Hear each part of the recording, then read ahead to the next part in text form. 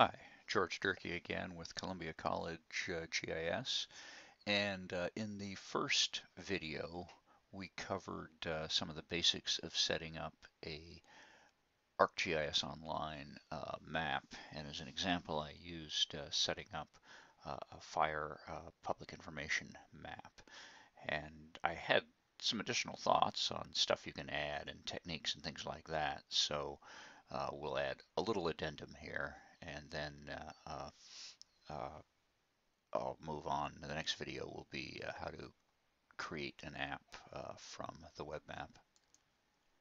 So just as a side note, uh, yesterday I was uh, thinking about an issue here in uh, Tuolumne County and several congressmen are advocating for increased logging as a way to reduce fire danger and fire intensity.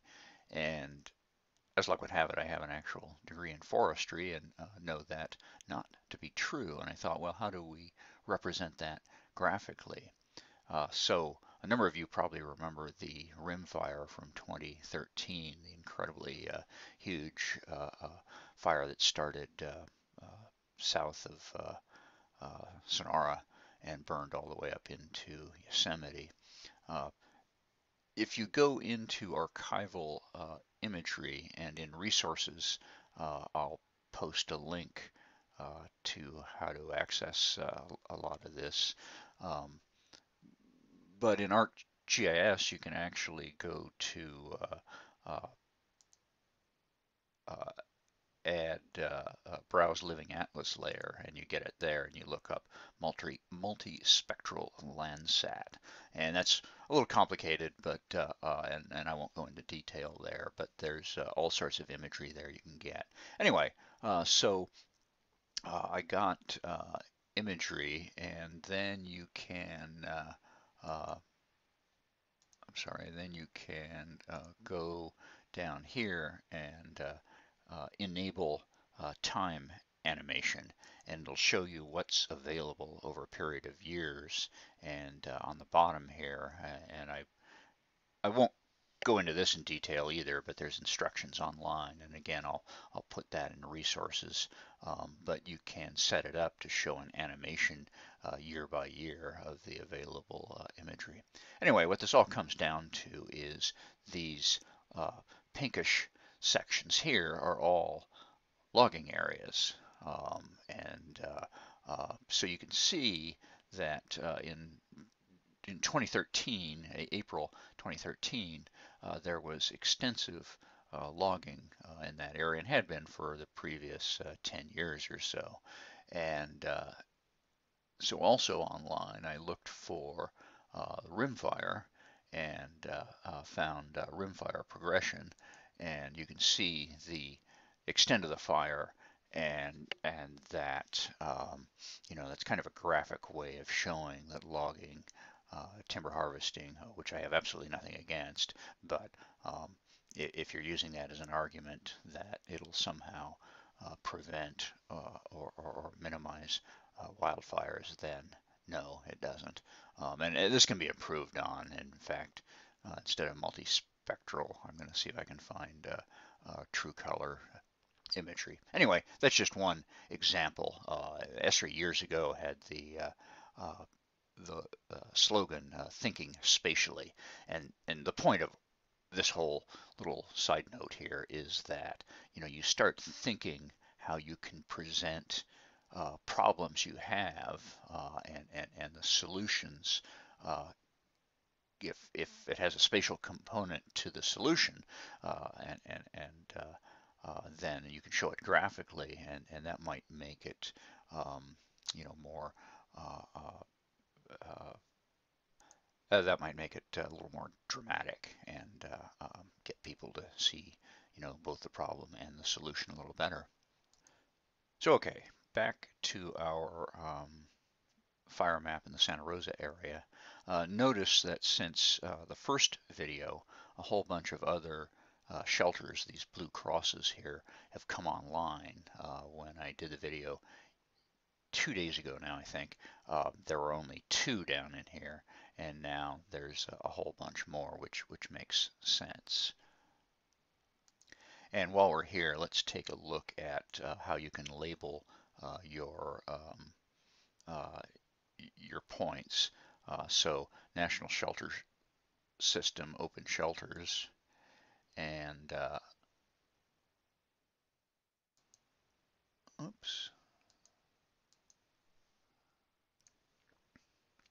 So you go to the drop down here and then you go to open shelters and uh, go to the drop down there and manage labels and uh, then you choose you activate the labels you choose which uh, field uh, you want to reflect the label so shelter name uh, you might have to fool around because the fields aren't always clear uh, what they are and then you can set the typeface and uh, uh, the uh, bold in this case. And halo is, uh, notice that I've set it to blue and uh, uh, put a halo around it. So when you have a varied background, uh, it's often a good idea to, a, a, varied color background, it's often a good idea to set a, a, a halo to it to allow contrast to have it show up on several different types of color uh, background. Uh, it's also a good idea, and I didn't quite do it here, to have your uh, label color be the same as the label. So, um, you know, I chose a blue, but I didn't get the right blue, uh, just for grins. Let's see if I can match it. It's a really dark blue navy. Let's try that. Then you hit OK.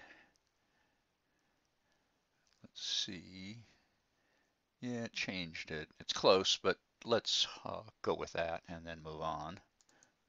So the other thing uh, that would be important to a public information map is uh, tr traffic, well, what roads are closed and uh, uh, how traffic is moving and things like that. And so uh, for that, I first tried a search within ArcGIS Online. I didn't get anything back. Um, so I just went to Google and searched live traffic GIS server. And so GIS server is where all the stuff is coming from. Uh, somebody is maintaining it. Uh, they're putting it on a specific type of server that handles geospatial information. Um, and so as luck would have it, uh, World Traffic Service comes up right at the top of the list. So I click on that. And that tells me uh, what it is. Uh, and, uh, you know, green, orange, red.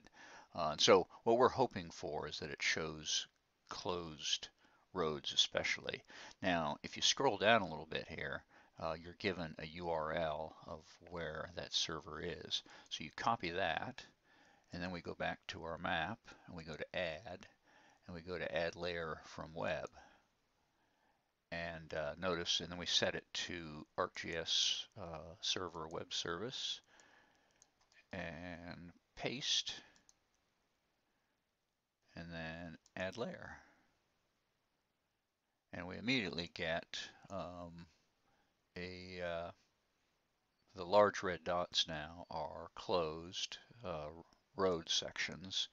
Uh, the green is traffic along the freeway is moving uh, pretty well.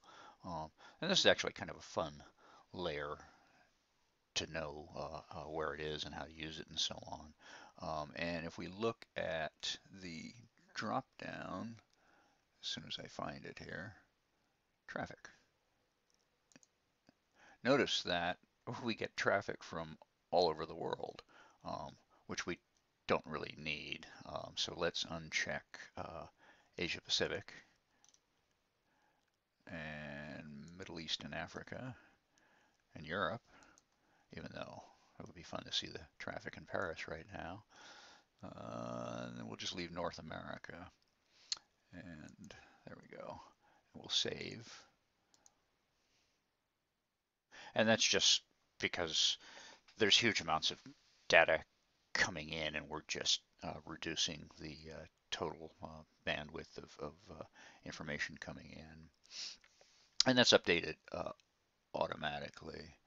Um, and then I also added incident monitor uh, pin, and so that gave us uh, uh, the actual uh, names of the fires. Notice here nuns, which I added a, a halo to.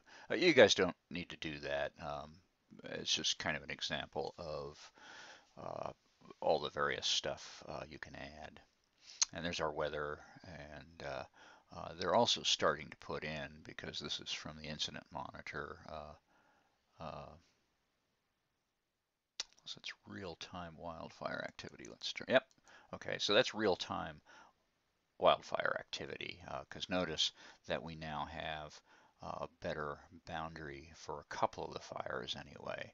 Uh, so those are probably from actual uh, GIS maps that have been created uh, I noticed that all the TV stations and everything for these fires are, are essentially using uh, uh, the MODIS imagery uh, and adding a, uh, a, boundary to it. Um, so they haven't been releasing maps uh, publicly yet, although boy, by day three, you'd think they would.